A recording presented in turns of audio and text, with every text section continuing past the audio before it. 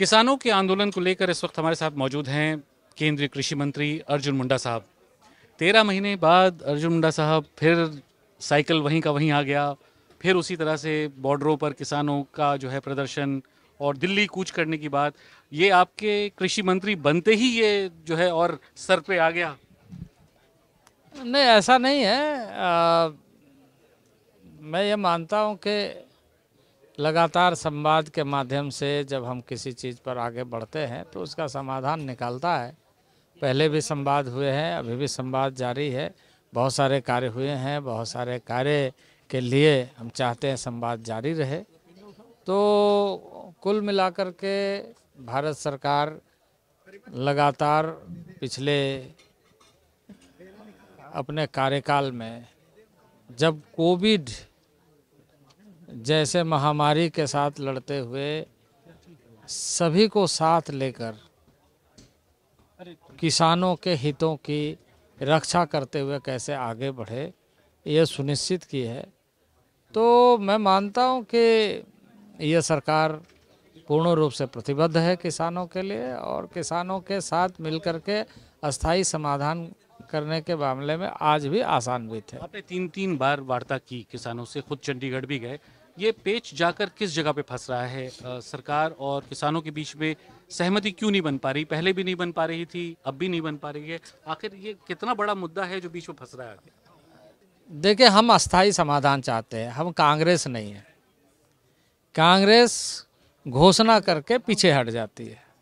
और यही हुआ है।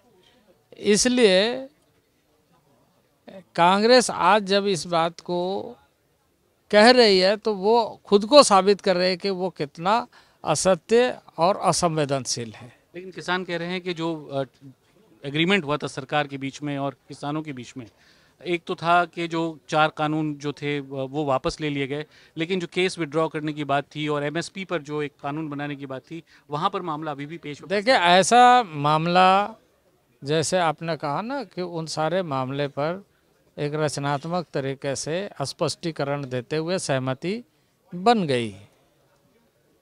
पर कुछ, जैसे आपने कहा एमएसपी के कानून के मामले में एमएसपी के कानून के मामले में जब भी कोई कानून बनता है तो उसके दोनों पक्ष को या कई पक्षों को ध्यान में रखा जाता है।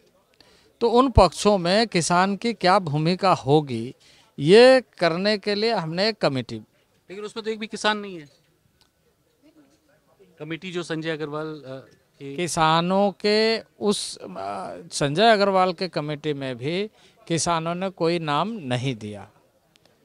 वो अलग बात है, लेकिन अब ठीक है, उसमें नहीं दिया नहीं दिया, कोई बात नहीं।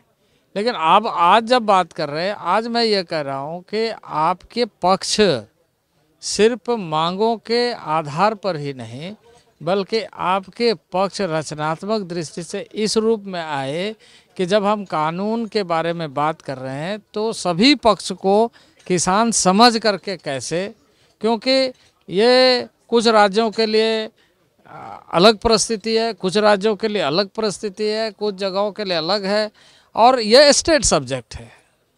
तो हमें कानून बनाने से पहले हमारी सभी राज्यों के साथ इस बात पर कि कौन सा विधि अपनाएँगे वो हमें सुनिश्चित करना है। तो पेशे से उसमें मैं पैसे से किसान हूँ ये बताइए कि स्वामीनाथन कमेटी की 2004 की रिपोर्ट 20 साल हो गए।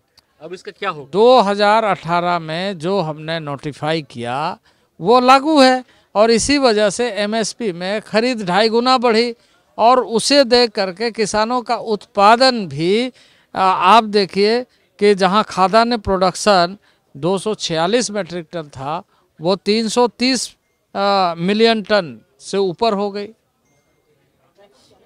जहाँ दो मिलियन टन था वो 330 पहुँच गई। बजटरी एलोकेशन किस हिसाब से बजटरी एलोकेशन में आप देखिए कि यूपीए के शासनकाल में सत्ताईस हज़ार करोड़ बजट था। आज एक लाख चौबीस हज़ार करोड़ बजट है।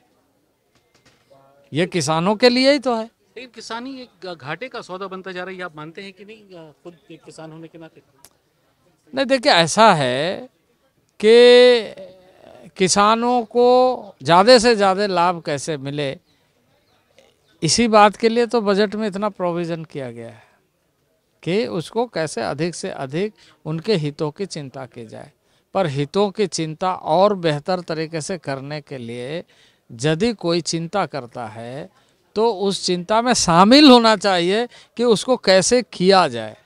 ये हो, ये एक विषय है। कैसे हो, ये दूसरा विषय है। तो कैसे हो के लिए तो बैठ के चर्चा करना पड़ेगा ना। तो अब ये जो तनाव बढ़ रहा है फिर से कांटे फिर से बैरिकेड फिर से तनाव फिर से ट्रैक्टर फिर से नहीं देखिए देखिए ये एक तो एग्रीकल्चर राज्य के सब्जेक्ट में से आता है जिसमें केंद्र फुल्ली समर्थन देता है सपोर्ट करता है और उसके लिए एक सहमति बना करके रास्ता अपनाता है। पर वो सहमति बनाने के लिए जो एक फोरम होना चाहिए, उस फोरम पे कैसे हम बातचीत को आगे बढ़ाएँ, इसके लिए तो समझना पड़ता है। अब उस कमेटी में नहीं थे, कोई बात नहीं। इस कमेटी में रहना चाहिए। हम इसमें अच्छा उसमें टाइम बाउंड करने की बात हो तो उसमें हम तैयार हैं कि भाई कब तक इसको करना चाहिए, क्योंकि उस कमेटी में रहेंगे तभी तो टाइम बाउंड की बातें हो सकती है। अब वो कहते हैं, ये करिए। कैसे करिए?